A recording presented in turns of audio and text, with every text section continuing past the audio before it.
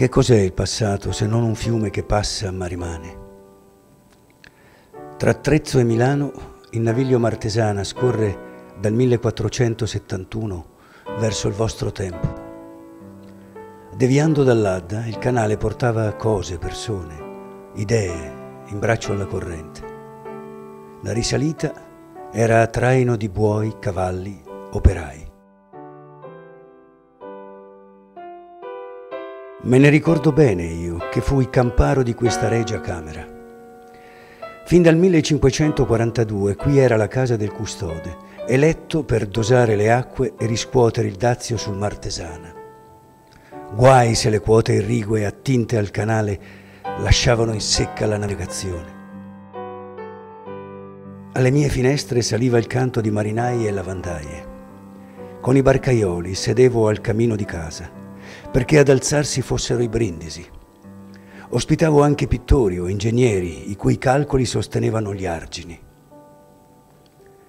Quando passavano i barconi, le donne intente al bucato si ritraevano per evitarne l'onda. Prima che dighe e ponti disciplinassero il fiume Adda, ero io a custodirne le correnti.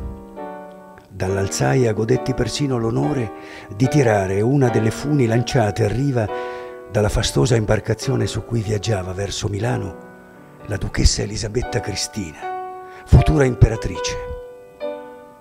Era il 30 maggio 1708. Eppure, se davvero il tempo scorre come i fiumi, risalirlo è impossibile. Le mie parole sono solo echi. Io, camparo della regia camera eretta a Vabrio, riposo nelle azzurre tombe dell'Adda. Mentre tutti gli altri rendono il proprio nome alla terra, a me piacque di consegnare il mio all'acqua.